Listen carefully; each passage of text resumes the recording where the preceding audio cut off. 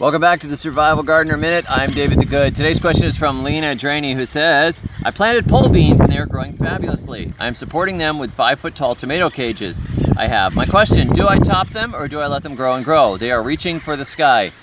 Well, the thing is with pole beans is they really like to reach for the sky. And if you can give them a support that goes higher, like eight to 10 feet is better. I, I have some pole beans that are growing on six foot wires and I realize if I had given them, you know, eight to 10 feet, they would have done better. And, uh, you know, I had poles going up against my fences. I had uh, pretty tall fences in Florida. I had eight foot fences around my garden area.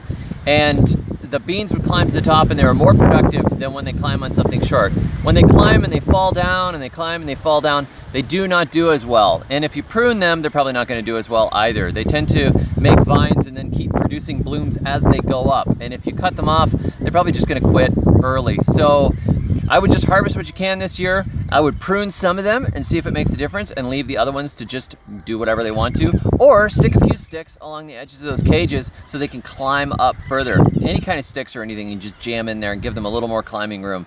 But try pruning a few and just see what happens because that's where the fun is. Anyhow, I hope that's helpful.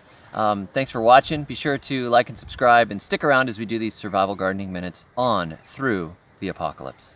Catch y'all later, and until then, may your thumbs always be green.